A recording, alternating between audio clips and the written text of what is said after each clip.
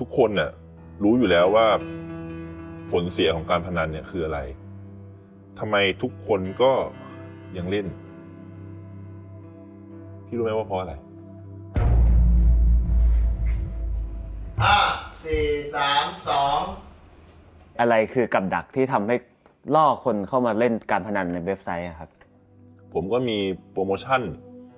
ที่สามารถดึงลูกค้าเนี่ยเข้ามาเล่นในเว็บไซต์ ถ้าคุณฝากเงินกับเว็บไซต์ผมวันนี้ ผมจะเพิ่มเงินในการที่คุณจะได้เล่นเนี่ยสองเท่า ส่วนลูกค้าเก่าเนี่ย ผมก็จะให้เปอร์เซ็นต์ในการชักชวน มันจะมีกลุ่มทีเด็ดบอลให้ทีเด็ดทุกวันหลาย ๆ กลุ่มเนี่ย เป็นคนของผมเอง เป็นหน้าม้า ก็แล้วแต่คุณจะเรียก อย่างเพจดัง ๆ เนี่ย ผมก็จะ เป็นสปอนเซอร์ คือเอาเงินไปให้เว็บไซต์เหล่านี้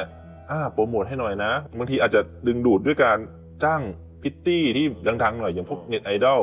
เอ้ยมาเต้นให้หน่อยทายเดี๋ยวเขียนที่หน้าอกนะว่าเว็บผมอะไรเงี้ยเป็นเว็บ อย่าลืมนะ เข้าไปที่เว็บนี้มีโปรโมชั่นนั้นนี่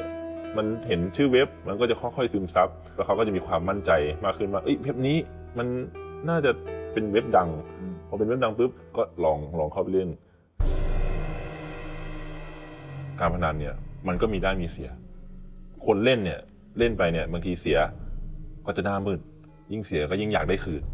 พอยิ่งอยากได้คืนปุ๊บก็จะยิ่งเล่น ยิ่งเล่น ยิ่งเล่นยิ่งเล่น มันก็ทำให้เสียเสียเสียเสีย แล้วพี่ไม่กลัวโดนจับอะ ผมถามว่าเจ้าหน้าที่ที่ไหน